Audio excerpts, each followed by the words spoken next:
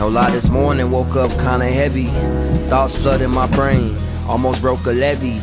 Let me get steady, let me center myself. Before I do for anybody else, let me consider myself. Check my mental health, self.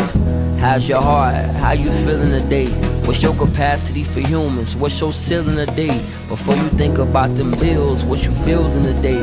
Find your flow, don't let them stones they throw get in your way. Weights on my shoulders, let me go to the gym. Let me dig in a good book.